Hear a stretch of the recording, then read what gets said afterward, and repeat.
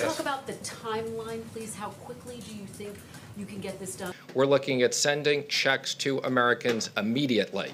And what we've heard from hardworking Americans, many companies have now shut down, whether it's bars or restaurants.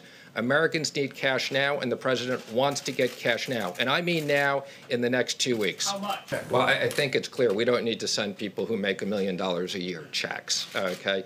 But uh, we like, that's one of the ideas we like. Uh, We're going to preview that today, and then we'll be talking about details afterwards. This is stuff that needs to be done now. The president has instructed me that this is no fault to American workers. For medical reasons, we are shutting down parts of this economy, and we're going to use all the tools we have, as I've said, and what tools we don't have, we're going back to Congress.